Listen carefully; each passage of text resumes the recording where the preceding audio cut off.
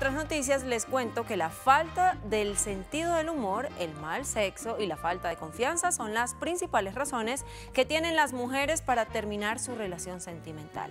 En el caso de los hombres, la baja de libido y demasiada charla los aburre y les acaba el amor.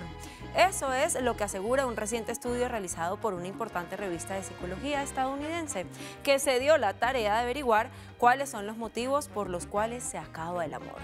¿Qué dicen los colombianos respecto a este tema? Lo averiguamos. Por monotonía, creo yo. Se acaban los detalles, se acaban los momentos especiales, se pierde ese, ese misterio, se pierde esa pasión, entonces ahí el amor va acabando. ¿Por qué muere el amor?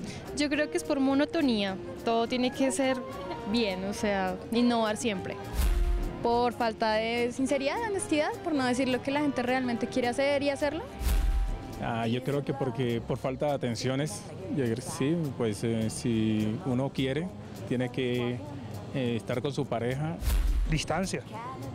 La distancia. Sí. ¿Por qué crees? Cuando uno cambia código de área, uy, cambia todo.